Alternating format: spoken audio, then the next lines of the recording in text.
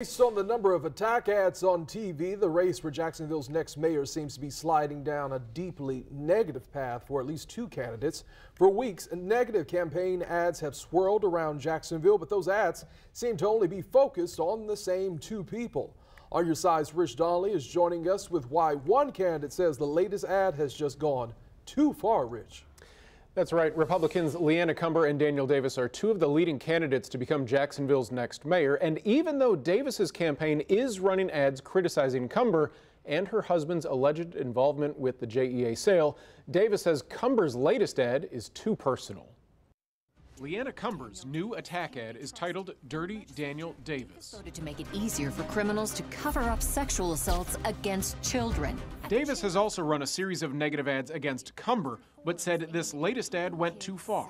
Rebecca and I knew that in a campaign we would get attacked. My opponent's latest attack trivializes the serious issue and politicizes the pain of others for nothing more than political gain.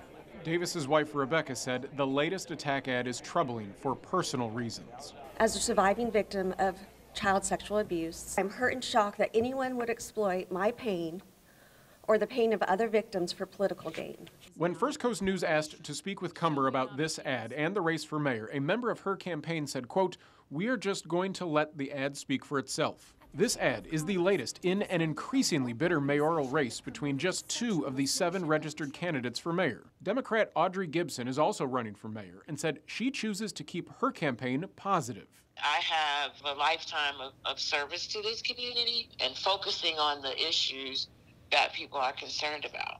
According to political analyst John Daigle, the barrage of negative campaign ads is a departure from the way campaigns are normally run. The old model used to be go positive early and you tell the voting public who you are and what you're about, and that you save the last the negative attacks for the last few days when they don't have enough time to respond. That model has been kind of flipped.